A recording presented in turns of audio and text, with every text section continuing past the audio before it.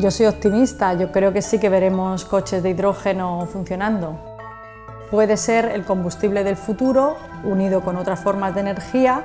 El, hidrógeno cuando se utiliza como combustible, el único producto que se genera es vapor de agua, siendo conscientes de que hay muchas cosas que, tenemos que, hay que solucionar y que la comunidad científica está ahora mismo trabajando en ello.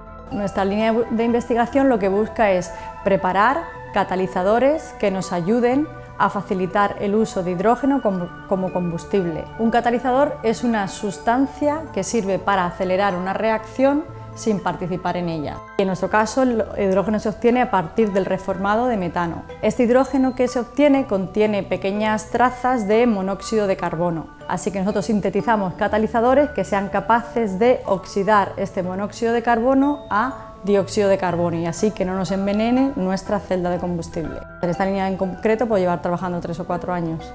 El reconocimiento es eh, lo que se llama una beca L'Oreal UNESCO, que se hace en diferentes países del mundo, y a reconocer, en el caso de España, a cinco investigadoras de menos de 40 años. Se les reconoce su trayectoria científica y también eh, se valora un proyecto que se presenta. Da más visibilidad a, a mujeres haciendo ciencia y quizá pueda despertar vocaciones científicas tanto masculinas como femeninas.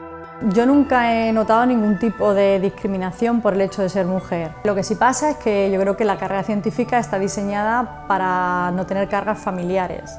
Yo lo estoy haciendo porque bueno, tengo una pareja totalmente conciliadora, entonces eso es muy importante, eh, que la sociedad eh, sea consciente de que hay que conciliar y que tenemos que conciliar tanto hombres como mujeres.